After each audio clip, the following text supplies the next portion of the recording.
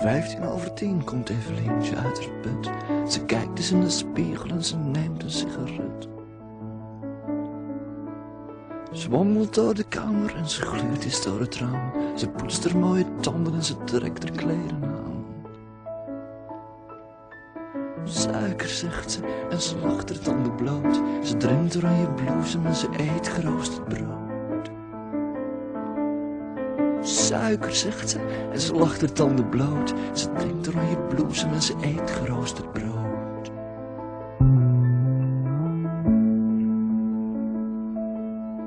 Om vijf na half elf zag ik ze bellen aan haar deur.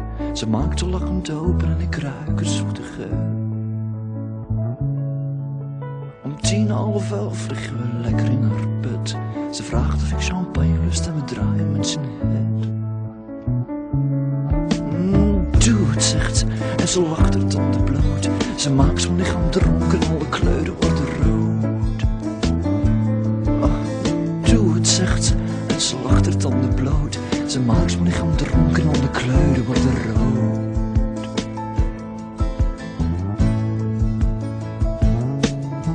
Vijftien over drie liggen we samen in haar bot. We stoeien het water en we pletsen snot. Laten ons lekker zakken in het heerlijk hete sop en we zoeken onder water naar een zoekgruinte stop. Zeep, zegt ze, en ze lacht haar tanden bloot. Ze wast mijn vuile haren en ze lacht zich bijna dood. Zeep, zegt ze, en ze lacht haar tanden bloot. Ze wast mijn vuile haren en ze lacht zich bijna dood.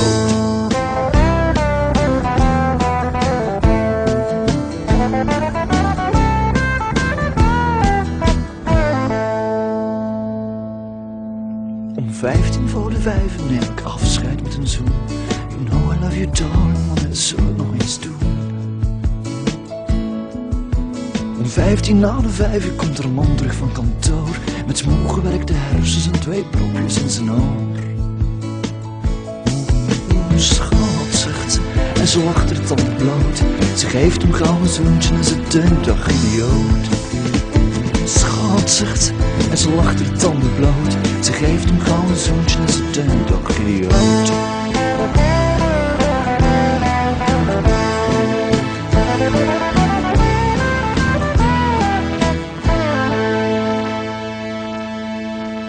Vijftien over elf kijken ze samen naar tv.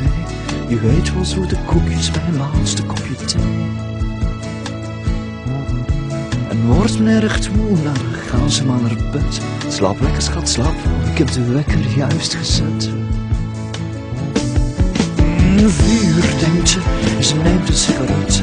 Haar man ligt al te snurken, dus ze leest nog wat in bed. Vuur, denkt ze, ze neemt een sigaret. Haar man ligt al te snurken, dus ze leest nog wat. In bed.